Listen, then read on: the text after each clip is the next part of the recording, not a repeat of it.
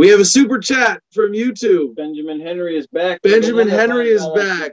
Chipping in another five dollars for today's show. That's awesome. Thank you so much, Benjamin. Could you talk about PMCs?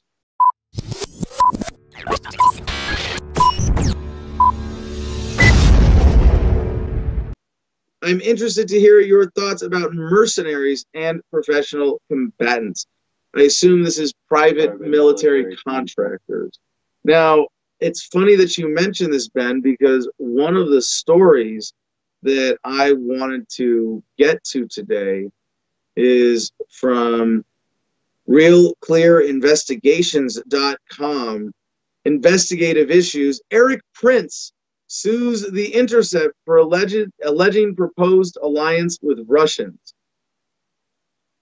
Now, who is Erik Prince?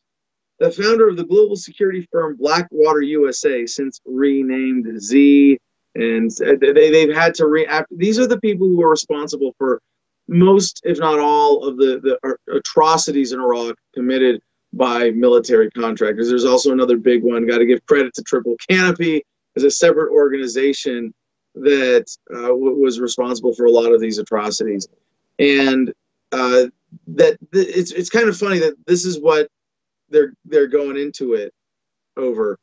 He is suing the investigative news site The Intercept for defamation over an April 13 article headlined "Erik Prince offered lethal services to sh- sanctioned Russian mercenary firm Wagner." His lawyer said on Tuesday. The article claimed provocatively that quote any business relationship between Prince and Wagner would in effect make the influential Trump administration advisor a subcontractor to the Russian military. That's the bridge too far, Mr. Prince. That's this is a guy who had to testify in Congress about killing innocent civilians in Iraq. So this is a really dangerous pitfall for libertarians intellectually when we say we don't want there to be any government controlled military we prefer military forces be privatized as in in the hands of the people and first of, of, course what i'm proposing with localization is that the military be de- decentralized that we don't even change the premises of it but we first make it localized and accountable and that's how you transition to uh, a military force that's controlled by the people rather than governments which are controlled by special interests so whether you know, lo- localization solves most of the problems of the corruption of the military without having to go to the, the libertarian absolute ideal of full privatization. And to your question, Benjamin, private military contractors, when you say contractors, you're implying that they are working for government. Now, maybe you're using the term in some other way, or you could use it in some other way. But when it's contractors, it's worse than the military. It's a greater evil because what you have is the same fundamental problem of you are stealing from taxpayers. So right away, the customer has no say in where their money goes to defense resources.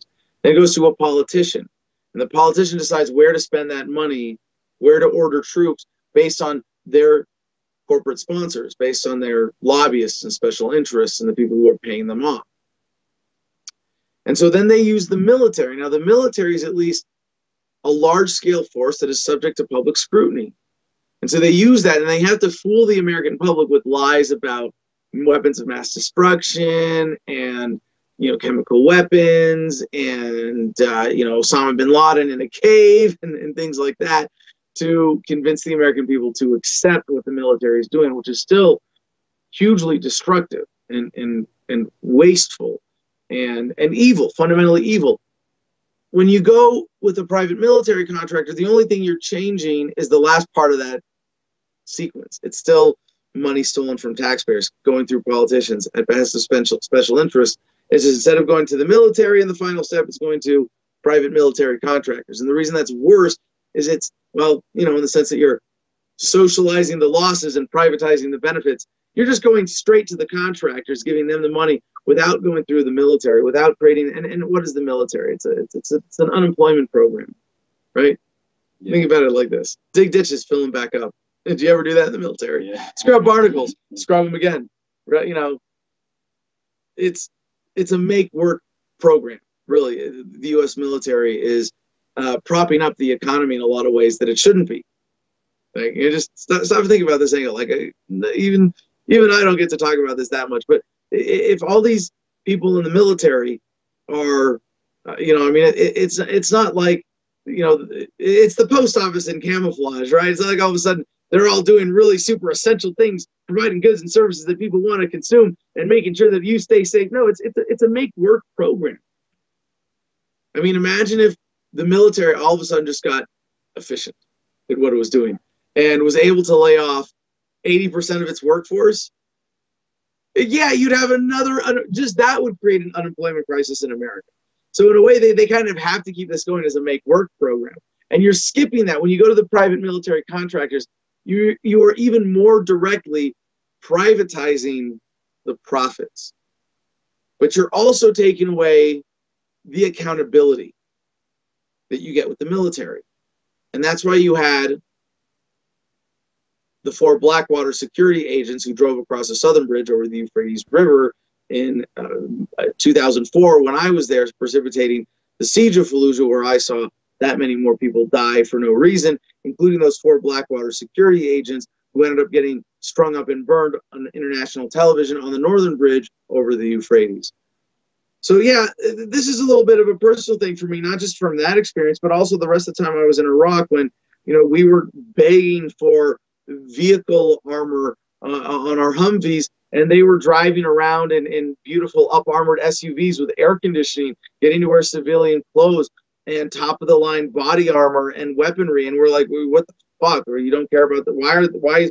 They're still getting paid with government money. Why are they all right, they're the new special forces, I guess. You know, that like that was kind of the attitude towards them. And for everybody in the military, I was like, wow, when I get out, I'm gonna go play that game. Why would I why would I be a sucker and stay enlisted when they're gonna hire me I'm gonna make way more money, get paid three times as much, live in uh, uh in an air conditioned hooch on on the other side of the base with all this better equipment. Why would I stay in the military? And then you have the atrocities because you don't have the accountability. So the the intellectual trap for libertarians is for people to say, ah, see, you privatize the military, it makes it worse. It's like, no, no, no, no, no, no.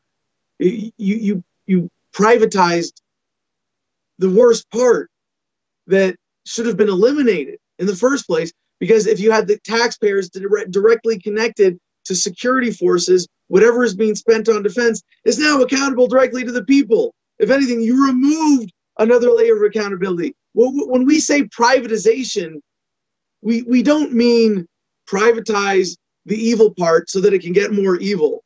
We mean privatize the entire process so that it's accountable directly to the people because the people don't want war. You would never have war. You would never have wedding parties hit with drone strikes, killing dozens of innocent people. All you, know, you wouldn't have uh, white phosphorus rounds and depleted uranium causing birth defects in Fallujah. Uh, even now, uh, uh over a decade and a half after I was there, you wouldn't have all of this evil of the current military if these things were accountable directly to the people. That's what we want as libertarians a voluntary world, a peaceful world. A, a world set free in our lifetime means one where everybody's rights are respected universally. So, private military contractors are not the way. Privatization to mean specifically making all defense service suppliers in whatever form they may take directly accountable to the people they are serving. That is what we are advocating as the way forward for peace.